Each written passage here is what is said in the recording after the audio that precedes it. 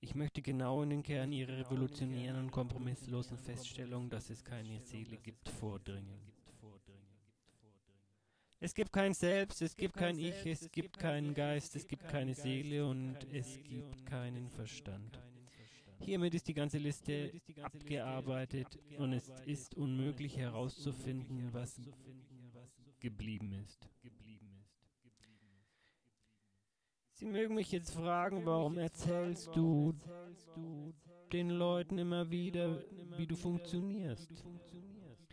Es geht nur darum zu betonen, dass wir jahrhundertelang ein Instrument benutzt haben, also das Denken oder den Verstand oder wie auch immer man es nennen will, um uns von all dem zu befreien, was man ich, selbst oder sonst wie nennt. Darum geht es in dem ganzen spirituellen Bestreben. Aber solange, es einem dämmert, dass es nichts gibt, aber sobald es einem dämmert, dass es nichts gibt, von dem man sich befreien müsste, stellen sich diese Fragen gar nicht mehr. Wie mir das gekommen ist, kann ich selbst absolut nicht sagen. Gewöhnlich, gewöhnliche, gewöhnliche Menschen wie ich mögen gerne wissen, ob sie Antworten für uns finden können. Die Antworten, die ich gebe, betonen nur das, was uns bleibt, das Funktionieren des Lebendigen das Funktionieren des lebendigen Organismus ist. Die Antworten, die ich gebe, betonen nur das, das, was uns bleibt, das Funktionieren des lebendigen Organismus ist. Wie der funktioniert, ist alles, was ich die ganze Zeit versuche zu vermitteln, zu betonen und nochmals zu betonen. Ich möchte euch darauf hinweisen, dass eure ganzen Versuche zu verstehen, was euch geblieben ist, ein verlorener Kampf ist. Was sie sagen wollen, ist, dass es nur den physischen Körper gibt und sonst nichts. Ist das so richtig? Noch nicht mal diese Aussage kann man erfahren mit dem, was geblieben ist. Wenn einmal alles aus eurem System gespült ist, hat die Feststellung, uns ist nur der physische Körper und das Universum geblieben, auch kein Bestand mehr. Das möchte ich gerne genauer beleuchten. Je mehr Fragen Sie mir stellen, desto mehr ist es notwendig, den physikalischen Gesichtspunkt unserer Existenz zu betonen, nämlich, dass an dem, woran man uns immer glauben ließ, nichts dran ist. Alle unsere Probleme sind entstanden, weil wir akzeptiert haben, dass es möglich sei, die Wirklichkeit der Welt zu verstehen oder die Wirklichkeit unserer Existenz. Was ich sagen will, ist, dass wir nichts erfahren können, was wir nicht kennen. Was ich sagen will, ist, dass ihr nichts erfahren könnt, was ihr nicht kennt. Alles, was ihr mit Hilfe eures Wissens erfährt, ist also, ist also vergeblich. Es ist ein verlorener Kampf. Wenn Sie sagen, es gibt keinen nicht physikalischen Bestandteil im Wesen des Menschen, Punkt, Punkt, Punkt. Da stimme ich nicht zu. Was genau meinen Sie mit keinen nicht physikalischen Bestandteil im Wesen des Menschen? Ich meine, dass es nur den tatsächlichen physischen Körper gibt und die tatsächliche Welt. Tatsächliche Welt. Tatsächliche Welt. Deshalb sage ich, dass das Mittel, das wir benutzen, um die Wirklichkeit unserer Existenz zu verstehen und die Wirklichkeit der uns umgebenden Welt nicht Teil des Mechanismus des Körpers ist. Der da ist, der da ist, der da ist, der da ist, Das ist der Grund, warum ich sage, dass Gedanken nicht aus sich selbst entstehen und nicht spontan sind. Noch nicht einmal jetzt gibt es Gedanken. Wenn ihr herausfinden wollt, ob es so etwas wie Gedanken geht, entsteht schon allein die Frage, die wir uns stellen, nämlich, gibt es einen Gedanken? Aus der Annahme, dass es einen Gedanken gibt.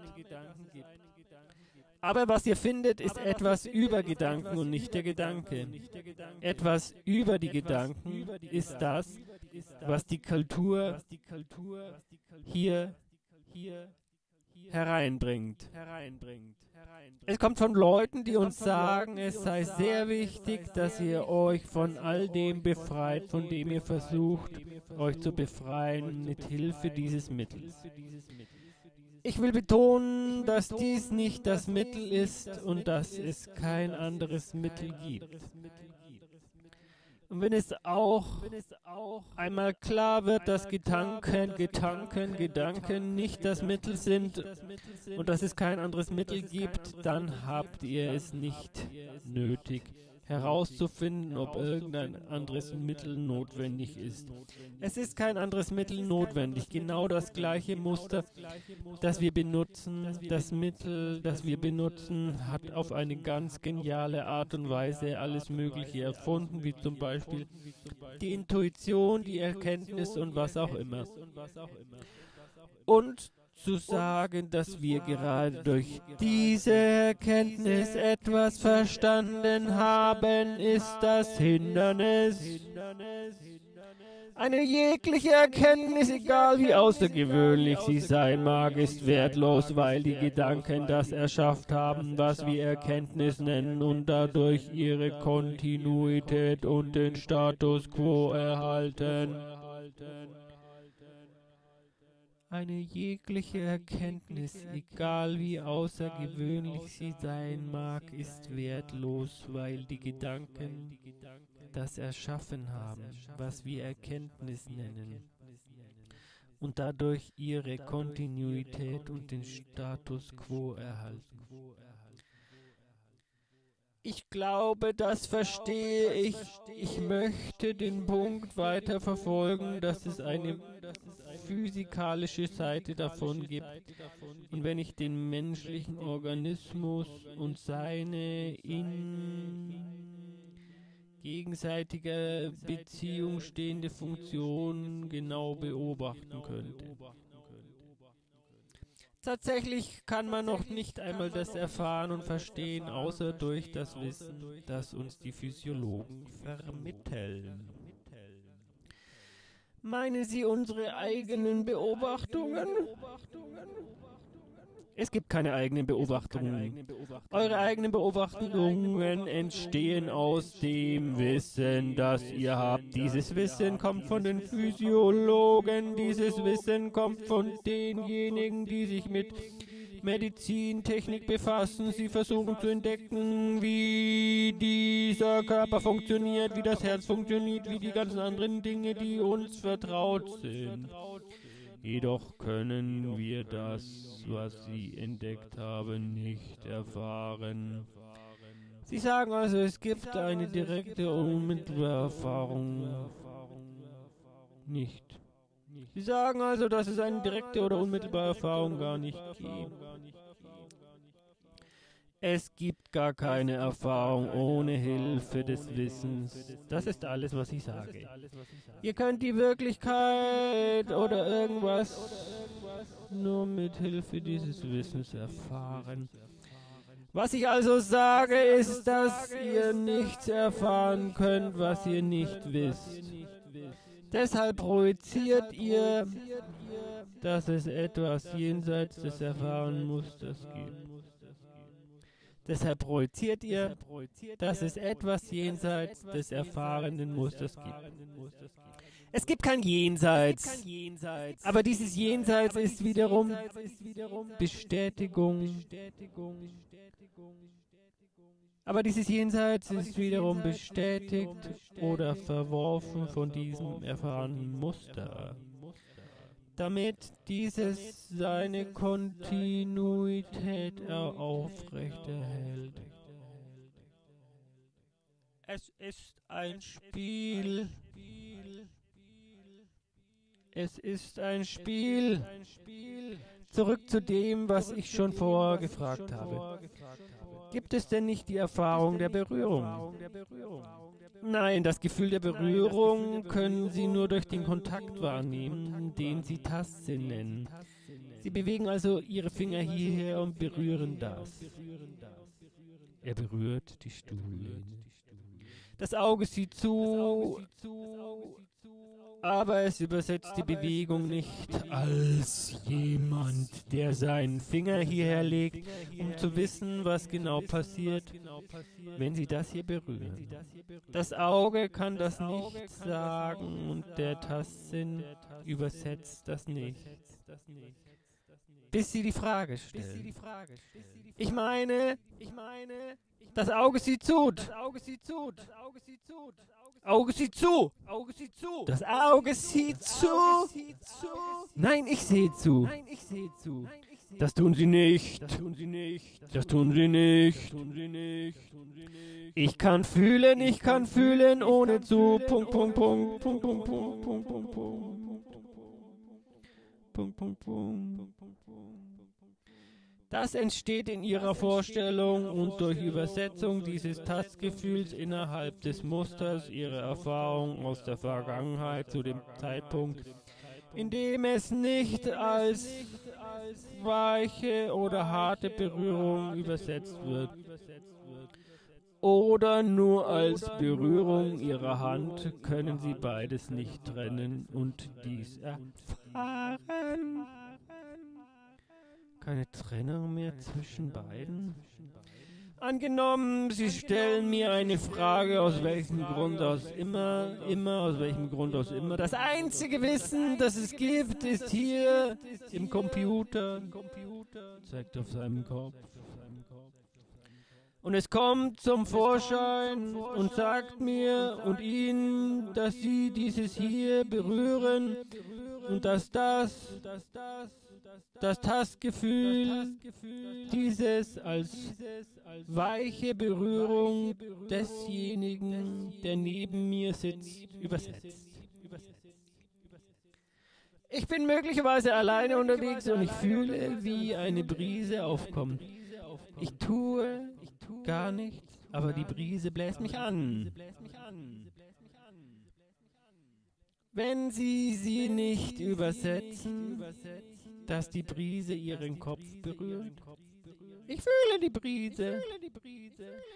Dieses Gefühl ist auch ein Gedanke. In dem Moment, wo sie sich von der Brise trennen, wird der sensorische wird die sensorische Aktivität übersetzt innerhalb des Musters des Wissens, das sie bereits haben. Ich sage keineswegs, dass sie die Brise nicht sind. Was ich sage ist, dass alles, was sie sagen, Teil ihres Wissens ist. Andernfalls können sie die Brise und den Kopf nicht trennen. Sie sagen also, dass es keine neuen Erfahrungen gibt. Es gibt überhaupt keine neuen Erfahrungen, aber die Anforderung, des, das Gleiche immer und immer wieder zu erfahren, ist das, was den ganzen Mechanismus des Gedächtnisses abnutzt, abnutzt, abnutzt, abnutzt, weil es zu diesem Zweck nicht bestimmt ist. Ist es möglich, dass wir erkennen, dass das Gedächtnis nicht der aktive Faktor des Bewusstseins sein sollte. Ich stelle das Bewusstsein in Frage, weil das, was wir Bewusstsein nennen, das Gedächtnis ist.